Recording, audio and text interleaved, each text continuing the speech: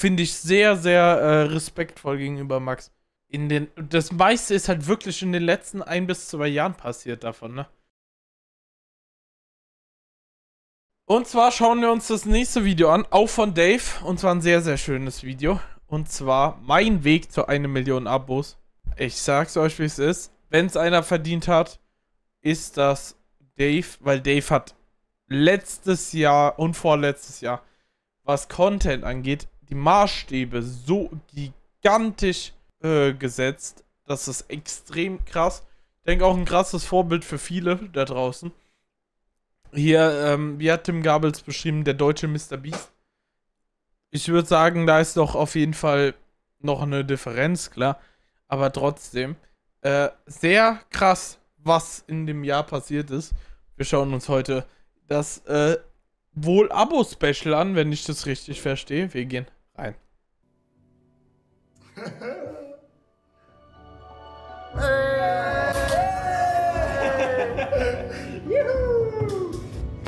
Alter! Ja, ebenso, mein Lieber, für eure Arbeit. Danke dir, mein Lieber. Vielen Dank, Herr. Für die Arbeit. Danke.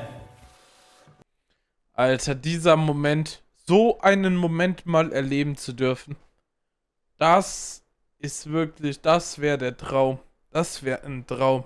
ist vor allem komplett krank, wenn man überlegt, wo wir herkommen. Also über Jahre hinweg mit so einem shitty Recorder von meinen Eltern übelst painig die Sachen in schlechter Quali aufgenommen, Probleme gehabt, die auf den Rechner zu bekommen und vor allem mich nicht selber sehen können bei der Aufnahme. Hört sich nicht so krass an, war aber über Jahre hinweg das größte Problem, eins der größten Probleme von Creatern. Und mittlerweile geht das unendlich easy.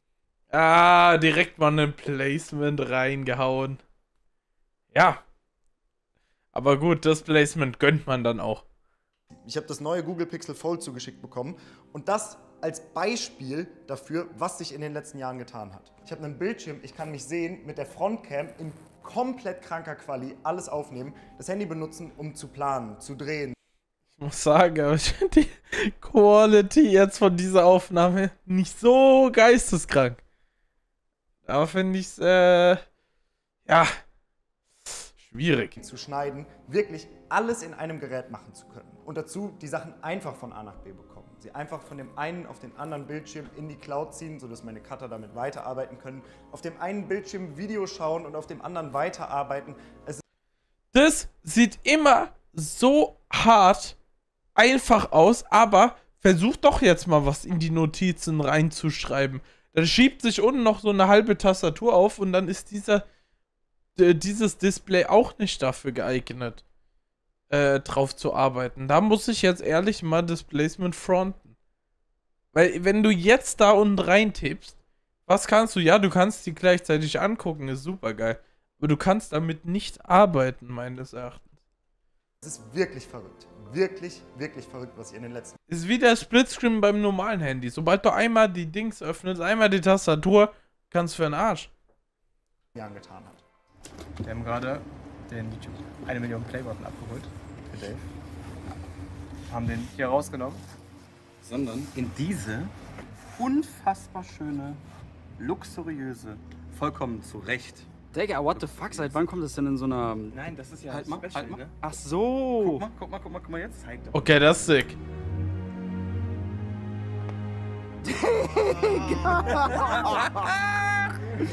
Ja, rein da. Junge, wie geil. Sitzen. Sitzen. Bitte hinter.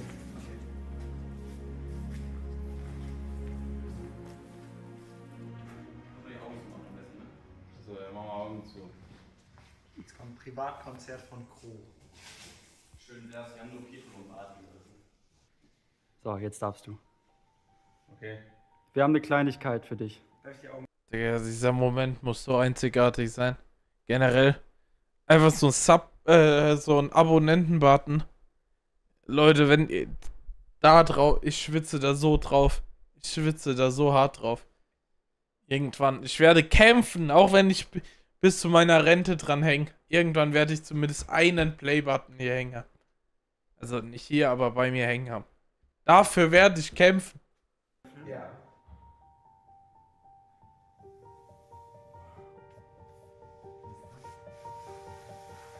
Hey, Alter, oh mein Gott.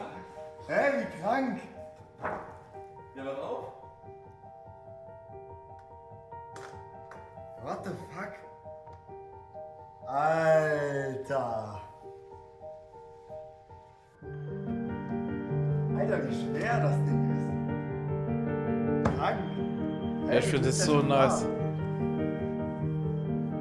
Es gibt nur einen Ort, der würdig ist für Awards und Die Auszeichnungen. Toilette. Und das ist zwischen unseren leeren Deodorants und den Zahnbürsten, die wir hier so brauchen. Muss kurz weichen. Und zwar direkt Lol. neben Maxis. Eine Million Playboy. Ja, und hier steht jetzt immer ganzer Scheiß rum aus den Bädern. Die müssen sich jetzt hier etwas überlappen. Tut mir leid, Alter. Dann mach doch den Gang zu der Toilette voll mit Awards, Alter. Ja, das ist geil. Das. Ey. Ich schwitze so hart auf so einen Award und die haben einfach fünf Stück. Natürlich auch maßlos verdient. Ja. Wunderbar.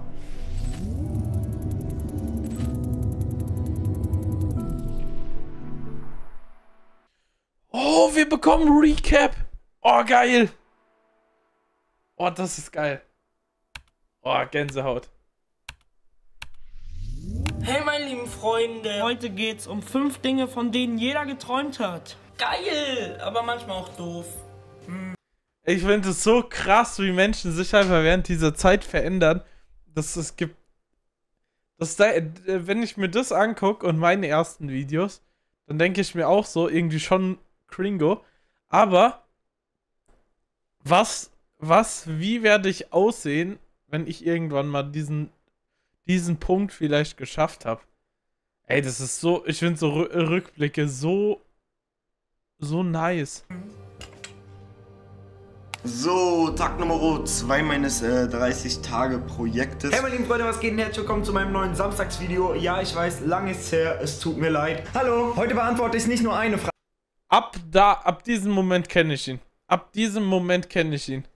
Ab dem Moment, wo er mit angefangen hat, mit Max Videos zu machen. Frage, sondern ich gebe euch gleich fünf Antworten auf Fragen, die sich jeder von euch schon mal gestellt hat. Mit Max. Was geht? Ich bin Max, hallo. Nein, gestartet bin ich damals mit irgendwelchen Standard-YouTube-Videos, die im Prinzip von einer Menge anderen Leuten deutlich besser gemacht wurden als von mir selbst. Ich muss an Fantreffen zurückdenken wie XXL Cuba Days, die Video Days, Webvideopreise, in denen man nur ein paar Meter entfernt von den Leuten stand, von denen einige mittlerweile zu echten Freunden geworden sind. Und am Ende war es einfach über Jahre hinweg ein Riesenspaß und nur Hobby. Privat ging es dann für mich weiter mit Schulwechseln, neuen Leuten, neuen Freundeskreisen und wahrscheinlich war es mir einfach ein bisschen zu unangenehm, diese Videos tatsächlich weiterzumachen, weil ich nicht wusste, wie der neue Freundeskreis auf sowas reagieren würde. Aber irgendwie wusste ich, dass tatsächlich einfach was fehlt. Und zwar mein größtes Hobby, nämlich YouTube-Videos machen. Die Schule habe ich dann fertig gemacht und plötzlich stand ich wieder vor der Frage, was will ich eigentlich machen? Was will ich wirklich in meinem Leben? Und glücklicherweise habe ich dann eine Stelle in Berlin bei Studio 71 angenommen, was damals das größte YouTube-Netzwerk war. Und in dieser Zeit habe ich auch Max kennengelernt, der relativ früh erkannt hat, dass ich eigentlich Lust habe, selber YouTube-Videos zu machen. Ey, das finde ich so unfassbar krass, dass er einfach, es gibt so viele, die theoretisch nur da sind, weil irgendjemand anderes sie motiviert hat, sie äh, äh, vielleicht auch unterstützt hat in den Videos und die so richtig, äh, sag ich mal, undankbar darüber reden, sondern so sagen, ja, du hast mich zwar dazu gebracht, aber im Endeffekt war das meine Leistung. Es gibt so viele in dieser ganzen Bubble und einfach so zu sehen jetzt bei so einem Highlight, dass er einfach ohne ganz trocken einfach nur anspricht, ey, ohne Max wäre das gar nicht. Finde ich sehr, sehr äh, respektvoll gegenüber Max. Natürlich, die sind auch beste Freunde oder so, oder zumindest saugut befreundet. Aber trotzdem äh, finde ich mittlerweile nicht mehr selbstverständlich, dass sowas gemacht wird. Gönn ich, also gönn ich beiden, so hart, so nice. und mich ermutigt hat, genau das zu tun. Am Anfang auch wieder eher schlecht als recht, mit Videos, die man von anderen Kanälen kannte und die von anderen Leuten schon deutlich besser gemacht wurden. Aber irgendwie konnte ich Erfahrung sammeln, habe gemerkt, was funktioniert, was gut ankommt, was schlecht ankommt und woran ich selber Spaß habe. Irgendwann habe ich gemerkt, dass ich tatsächlich am meisten Spaß habe, wenn ich Dinge tue, die Leute am wenigsten von mir erwarten. Irgendwie sind mir über die Zeit immer mehr Ideen für Formate gekommen. Ich habe mehr Leute kennengelernt und mehr Leute haben angefangen auf mich zu reagieren, was dazu geführt hat, dass auch mehr Leute meine Videos und meinen Kanal gefunden haben. Und von diesem Punkt aus hat es sich dann quasi verselbstständigt. Und genau so läuft es jetzt seit nunmehr zwei oder zweieinhalb Jahren. Und mein ganzes Leben dreht sich nur noch um YouTube. Und das ist auch gut so, denn es ist das Einzige, was mir so richtig Spaß bringt. Ich habe es wirklich geschafft. Ich habe mir meinen Flug nach Mallorca geschnappt. Glückwunsch, Digga. Einfach mal ein fucking Tesli. er will nach Paris! Ey Junge, ich komme da nicht drauf klar. Wir fahren nach Mallorca! Junge, die Musik aber asozial laut. Danke für nix, Dave. Und der Witz. Ansgars erster Flug. Und plötzlich stehe ich an der Kante und das erste Mal, dass ich mit eigener Kraft rausspringen soll, bin ich quasi allein. Und dir viel Spaß mit deiner neuen Wohnung. Damit herzlich willkommen in unserem neuen Büro. Was soll ich sagen? Ich habe eine Wohnung. Ich habe gerade die Schlüssel bekommen. Ich bin unglaublich happy. Das hier ist Folge 1 einer zehnteiligen Serie, welche die Planung und Produktion der zweiten Staffel Seven vs. Wild begleitet. Hi, hello, good morning. How are Es ist schon krass, was der alles erlebt hat, einfach. In den. Das meiste ist halt wirklich in den letzten ein bis zwei Jahren passiert davon, ne? Das ist brutal. Thank you so much. Guck mal, guck mal da vorne. Wir sind no joke, vier Minuten drin. Nach all diesen Strapazen stehe ich hier an meinem neuen Auto. Das ist das günstigste, smarteste und atemberaubendste Wohnbauprojekt, das die Welt so bislang noch nicht gesehen hat.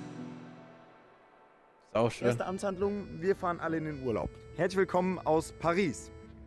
Ich bin in Paris. Liebe Grüße aus Paris. Nicht nur bin ich das erste Mal in Paris und genieße das hier sehr, sondern ich habe tatsächlich auch das erste Mal so richtig Zeit, alle Videos zu schauen, die ich von Anfang bis Ende gemacht habe. Es bleibt so wenig Zeit, während wir die Videos machen, dass wir gar nicht so richtig realisieren, was wir eigentlich die ganze Zeit machen. Und deswegen gucke ich von Ah, ja. Anfang bis Ende alle meine Videos durch. Eigentlich gucke ich die ganze Zeit so. Äh, ach ja, vielen Dank fürs Zusenden des neuen Google Pixel Fold übrigens. Schön die Werbung rein. Aber, und jetzt kommt der Witz, ich kann das auch so komplett in Fullscreen schauen. Einfach ausgeklappt in. Größe Videos schauen und in dem Moment, wo es losgeht, klappen wir das zu und es ist wieder komplett in Taschenformat. Also wirklich krank. Deswegen machen wir uns jetzt auch auf den Weg raus. Vor allem raus aus dem Alltag. Das erste Mal, dass ich seit einigen Jahren so richtig Urlaub mache. Ich bin durch komplett Europa unterwegs und habe endlich genug Zeit, mir alles durch den Kopf gehen zu lassen, was über die letzten Jahre alles so passiert ist. Und wollte deswegen diesen Moment nehmen, um auch nochmal Danke zu Ah, okay. Während jetzt die Seven vs. Wild Zweitversuch Videos kommen, macht er also Urlaub. Das ist smart. Ist smart. An jeden einzelnen von euch, der das über die letzten Jahre so supportet hat. Ihr, die mir hoffentlich erhalten bleibt, auch noch für viele weitere Jahre, damit ich diese Sachen, die ich auf YouTube mache, genauso weitermachen kann. Denn das war mein einziger Traum, das war mein einziges Ziel. Es hat tatsächlich geklappt. Jetzt eine Million geknackt zu haben, ist völlig verrückt und wir planen damit genauso weiterzumachen. Natürlich auch nochmal ein Riesendankeschön an jeden aus dem Team, an jeden aus meinem privaten Umfeld, für die das mit Sicherheit auch nicht einfach ist, weil sie über die letzten Jahre immer mal wieder einstecken mussten, weil unser voller Fokus von mir und von jedem aus dem Team einfach dem YouTube-Kanal gilt. Und auch natürlich ein Riesendankeschön an Google Pixel mit dem neuen Google Pixel Fold, ähm, mit dem wir das gesamte Video hier gedreht haben. Das ist unglaublich, solche Partner an der Seite zu haben und erst durch diese Partner werden die Videos so möglich. Also ein Riesendankeschön an jeden einzelnen von euch, an jeden aus dem Team, an jeden Partner ganz besonders an Google Pixel. Ich mache weiter Urlaub. Ey, sauschönes Video. Finde ich so schön und ey, wer es äh, Dave nicht gönnt, der hat, der hat ganz große Probleme. Weil ich sag's euch, wie es ist.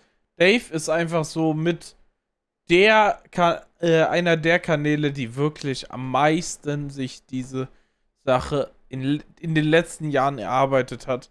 Was einfach äh, geisteskrank ist. Ich will mal gerade gucken, wie viele Abos er mittlerweile hat. 1,01.